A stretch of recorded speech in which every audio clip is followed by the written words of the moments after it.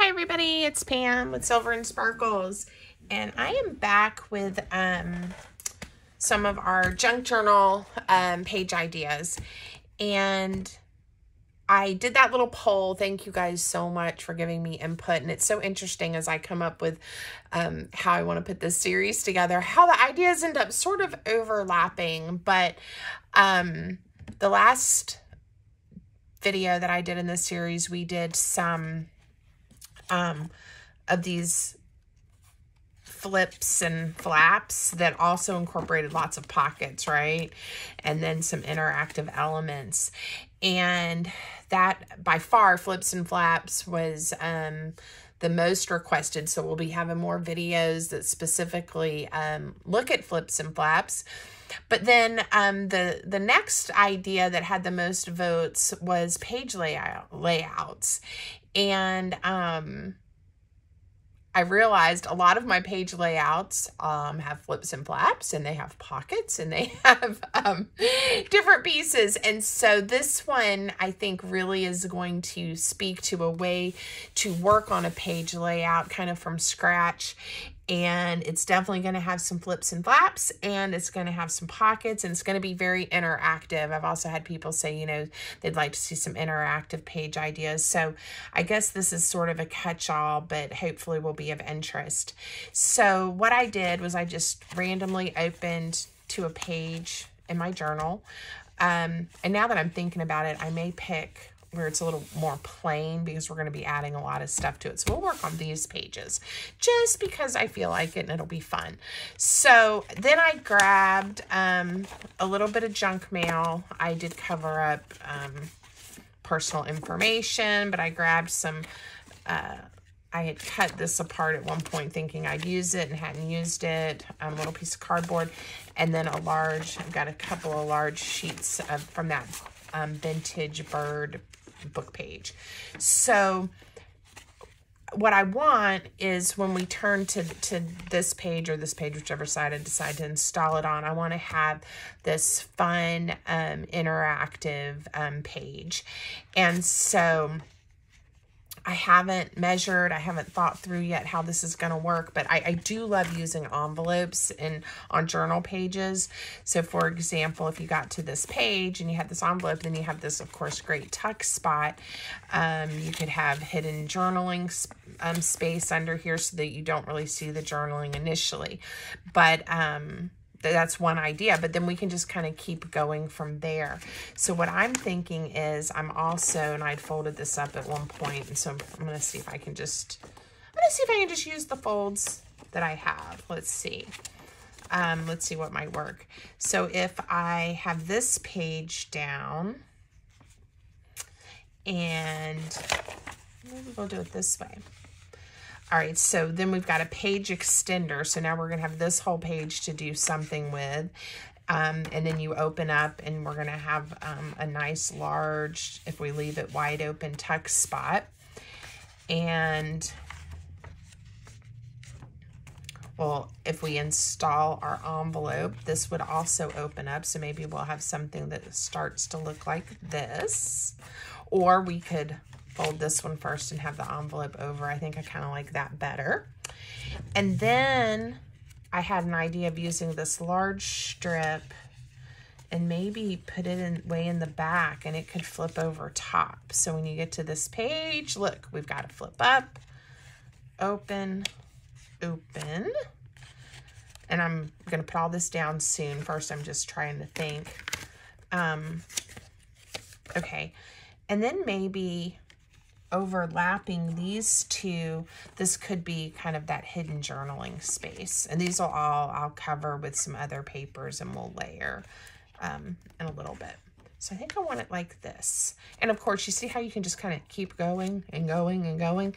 Now, depending on how much I layer on top and if I put any pockets or anything chunky in there, you know, it could get a little thick, but right now it's still pretty thin. So let's set these aside and let's let's put it together.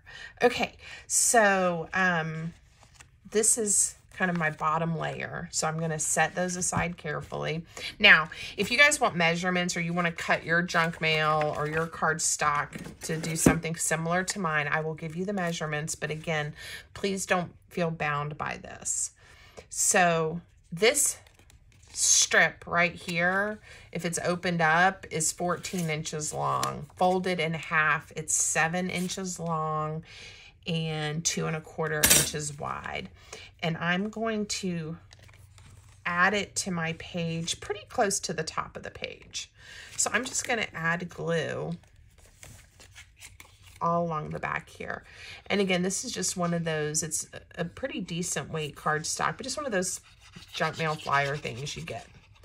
And I save, of course I do, right? I save all of that. All right. And I'm going to put it pretty much in the center of the page. Okay. Now, to remember what I'm doing, I'm picking up the whole pile. Open it up. Open this one. All right, so this is going to go in last. Now, for this page, I kind of want the book page to come pretty close to the edge. And um, now I could leave it open so we could tuck something in here as well. But I, am not going to do that. I think I've got enough going on and I want to have enough structure. So I am going to, I love those little bird bases. Hmm. I kind of hate that I'm going to be covering them up. It makes me a little sad. Um, is there a way to save them? That's what I'm thinking now. Okay, I'm not going to confuse us. I am going to go back to what I was doing, which is this. So we have a nice big page extension. So we're going to add glue to this whole panel. And again, this is a really, this is like a coffee table size book. The piece of paper I'm using, I tore the ragged edge off. Let's see, is, this is almost 11 and a half inches and then by eight and a half. And then I folded, or it was already folded, let's see. It's almost a two and a half inch pocket. And this section is five and a quarter. So if that helps any, we are going to glue this section.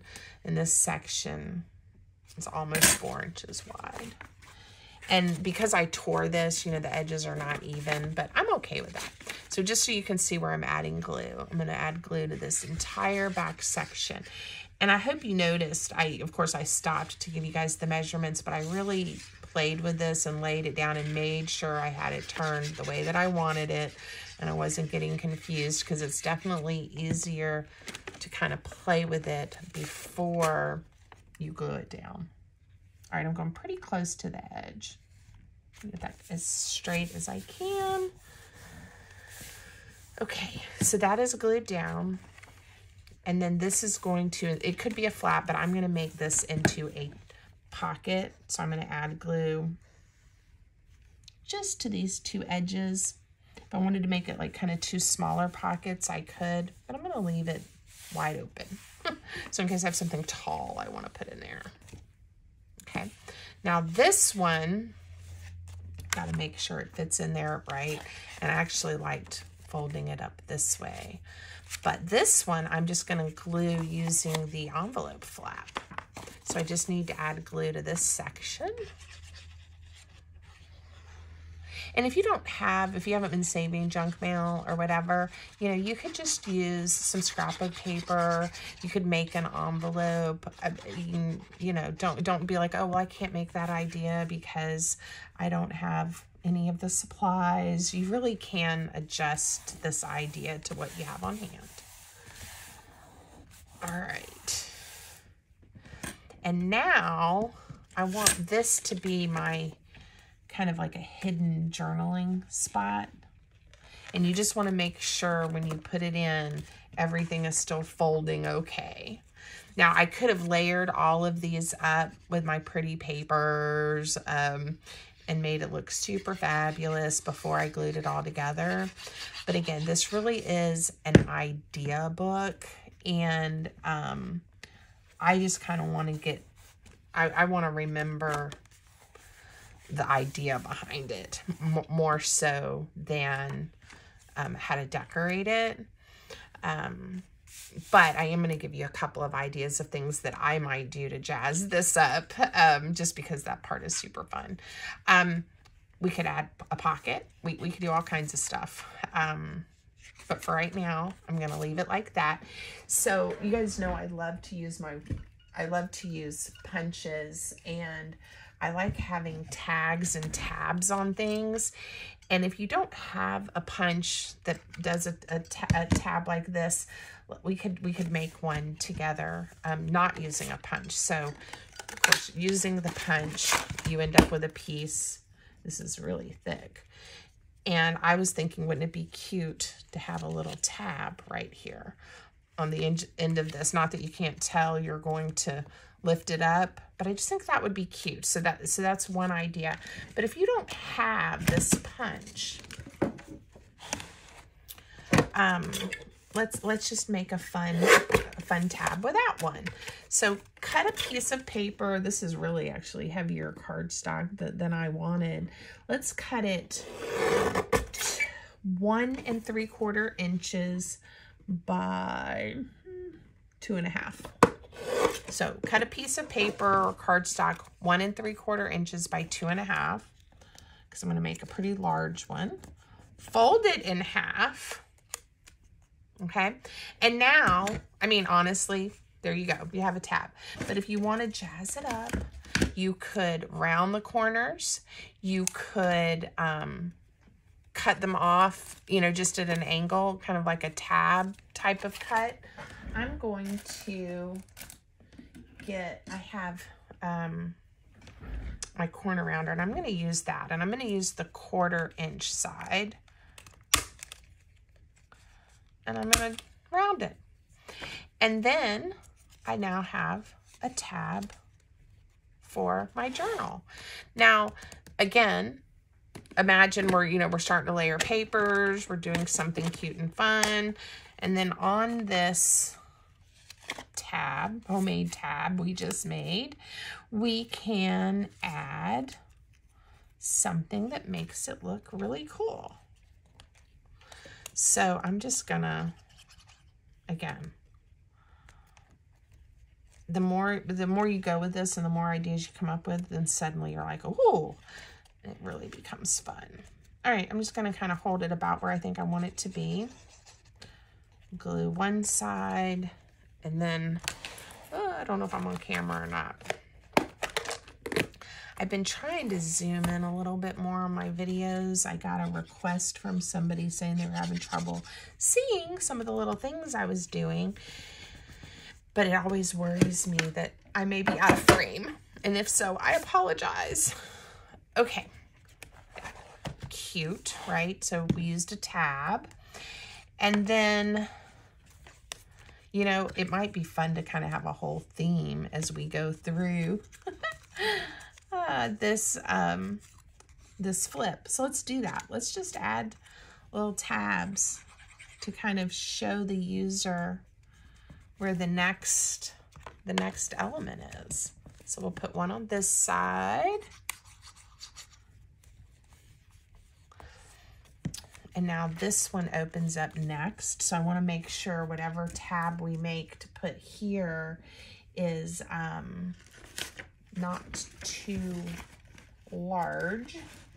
Oh, I was going to show you if you have, just pull it out. So sometimes when you have digital papers, you end up with things of this shape, right? So you can cut that out with scissors. To save us time, I'm going to grab my punch. Now, it's the same idea of a shape, but it's just smaller. And um, you'll see what I mean.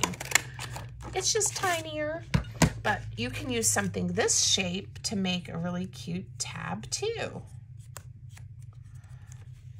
And I'm gonna put the tab on this page just because I want to down here. So there's another idea for you. Ah, okay. And then when I come back later to get these ideas, I'll be able to say, oh, that was so cute. All right, and then another super easy way to make a tab that I think looks impressive is, let me get a circle punch. I'm going to use, it's a little bit big. Why don't we use, I'm going to use one and a quarter and um, find some paper you like. I'm going to just chomp, chomp these up.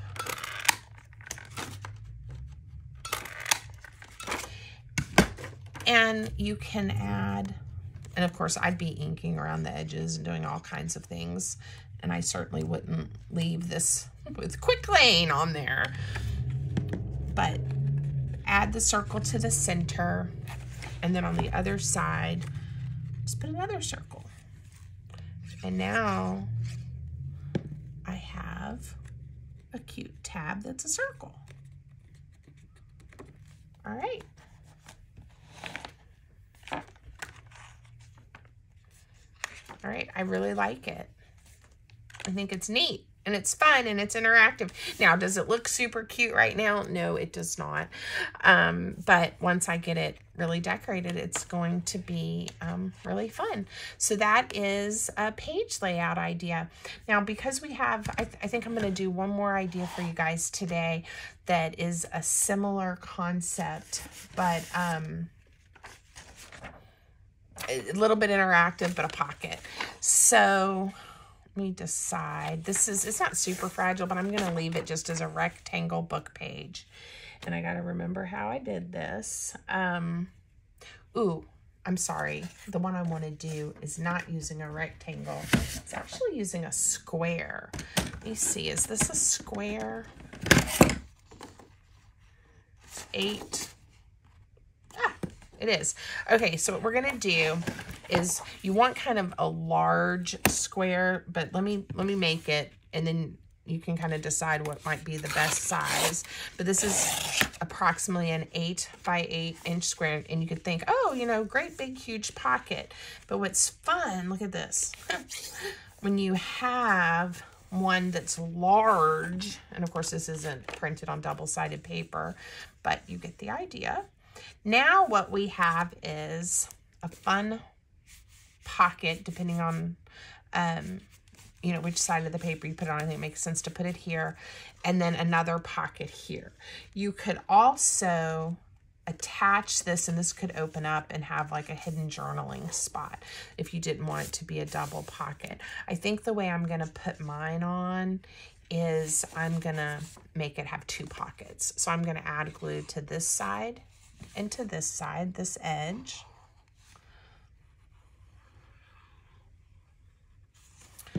And of course, when you think of page layouts, right, it's like, where do you put the pockets and how do you design it? So um, I'll come up with, hopefully, lots of ideas for us to explore together as we do our idea book. Um, so now I need something to work as my, I left this side open so that something large would fit in. Otherwise, it would have to be narrow.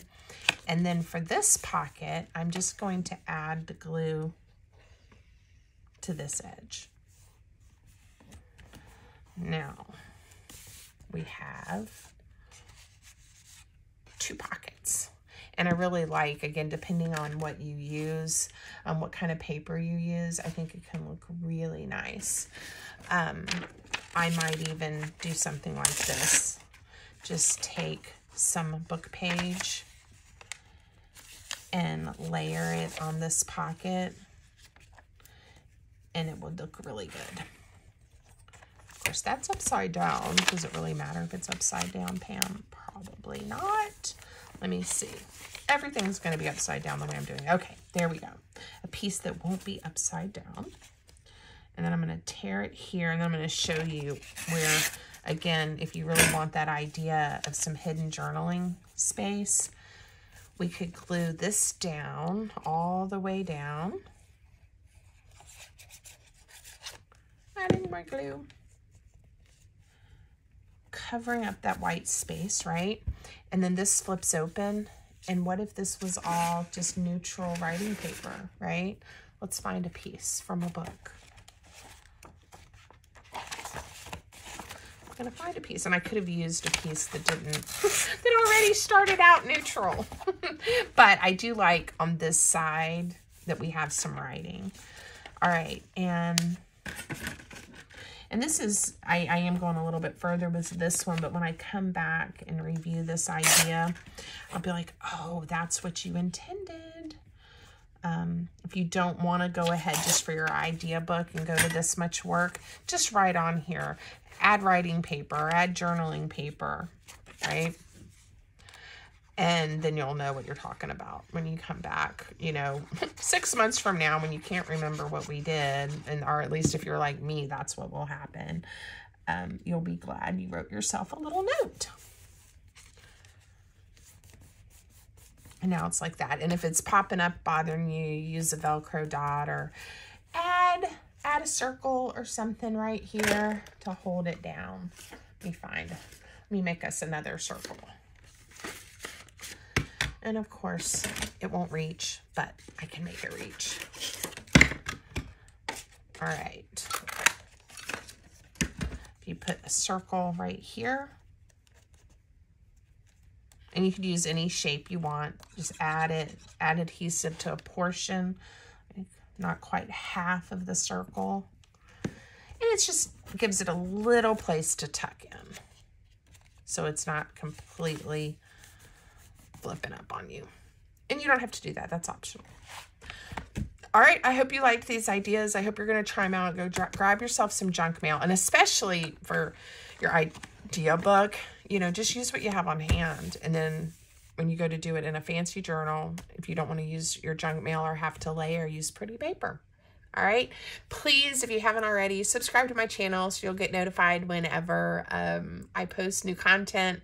Thank you guys for watching. If you have ideas and suggestions, reach out, leave me a comment, send me a message. Um, if you do some of these ideas, tag me so I can see what you created. I love that. Um, thanks so much. And until next time, have a great day.